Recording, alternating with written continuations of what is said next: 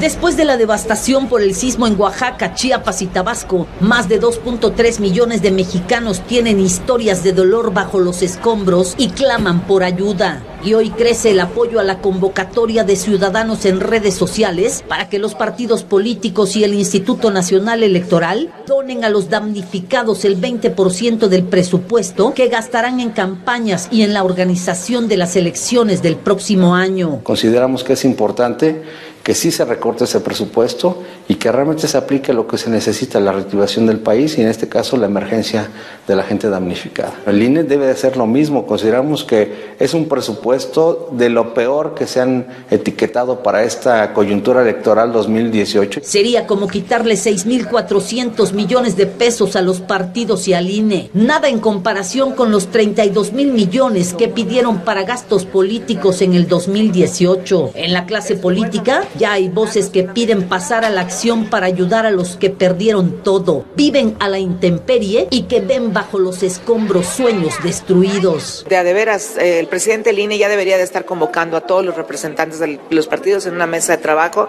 y a ver quién, a ver de qué correas salen más, de qué correas salen más correas. Este es el momento de la solidaridad. Si quieren que voten por los partidos, bueno, pues ahora, ¿cuánto van a poner para apoyar a esta gente que está sufriendo tanto? Tenemos que construir fortalecer los fondos para desastres.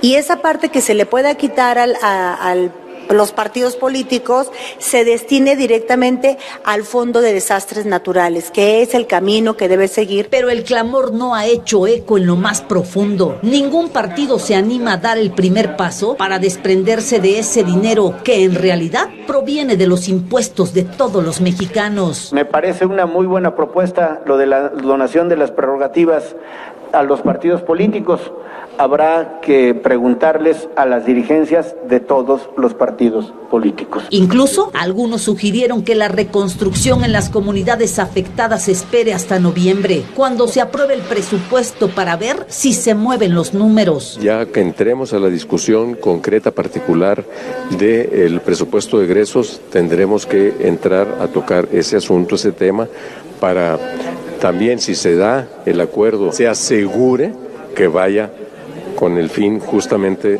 de atender las eh, necesidades que han crecido en los últimos días de los damnificados por los sismos y los fenómenos meteorológicos. Así, mientras ellos ven de lejos la tragedia, la petición ciudadana sigue cobrando fuerza en plataformas digitales como citizengo.org, donde miles de ciudadanos exigen sensibilidad a las autoridades electorales y a los partidos políticos. Y es que de momento, ninguno ha dado muestra de querer destinar a la reconstrucción una pequeña parte de la millonaria tajada que recibirán en el 2018 para pedirle su voto a todos los mexicanos. Con información de Beatriz González, Gerardo Segura y Maxi Peláez, Azteca Noticias.